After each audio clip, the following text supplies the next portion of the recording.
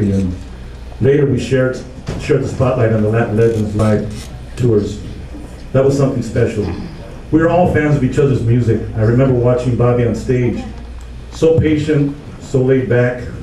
But once he started playing, he was in a world of his own. So much passion in his playing, especially on Viva Tirado. He put his heart and soul into that song. He owned it. Bobby created a song, a sound on that Hammond organ that nobody, but nobody, could ever reproduce. I'm Bobby was one of the funniest people I ever met.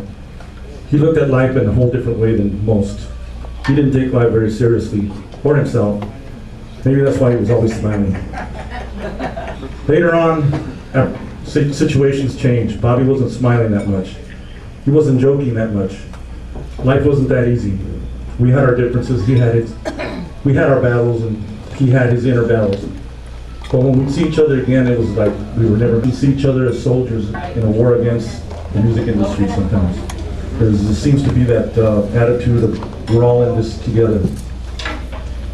Bobby Espinosa touches so many people, not only here, but all over the world.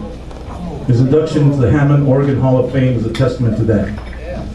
Unfortunately, the media never gave him his, the credit or the accolades that he, accolades that he deserved.